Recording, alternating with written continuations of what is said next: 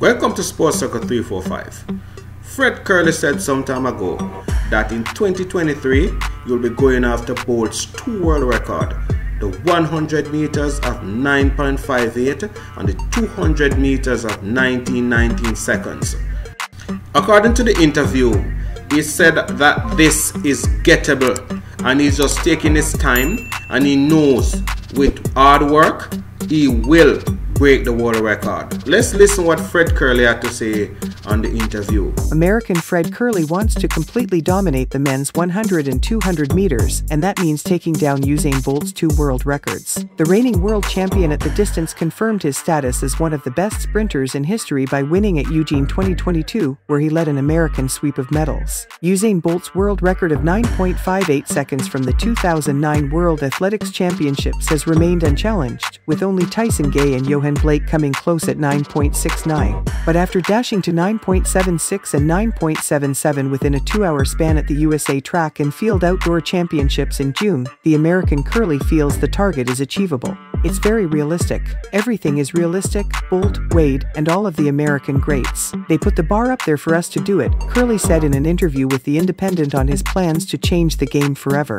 If they can do it, then why not us? He shared, I've got to continue to train right, eat right, sleep right. These small things will help me to get to the bigger goals down the line. The record's in that double gold. After his smooth transition from being a 400 meters sprinter to a 100 meters world champion, the Tokyo 2020 Olympic silver medalist, behind Italian Marcell Jacobs, stepped into the 2022 season with renewed enthusiasm. Kerley's focus was the 100 meters and 200 meters after dropping the one lap due to an ankle injury. The 27 year old inched closer to his world record dreams with his personal best of 9.76 at the U.S. Championships, which has him lying sixth in the 100 meters all time list behind Jamaican Bolt. I speak to him on social media, but we don't talk about records. He put the bar up there for us to go and attack it.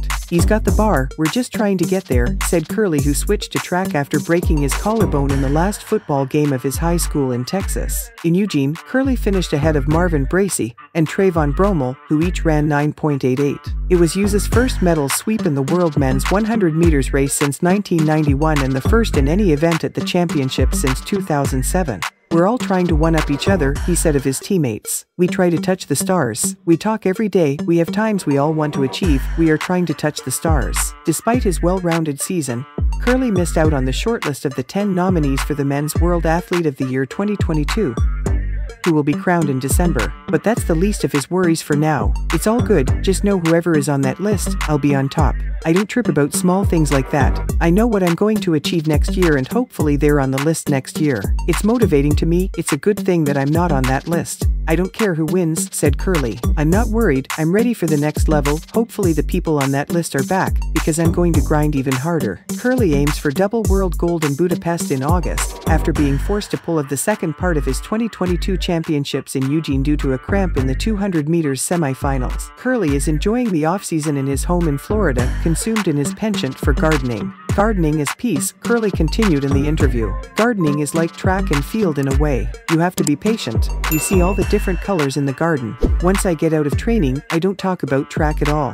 Track is not who Fred Kerley is, track is what Fred Kerley do. So I really enjoy the gardening, it allows me to take my mind off the negativity around stuff. It lets me leave track alone and focus on a different aspect of life. Good luck Fred Kerley on your quest in breaking Bolt's world records, wish you the best life has to offer.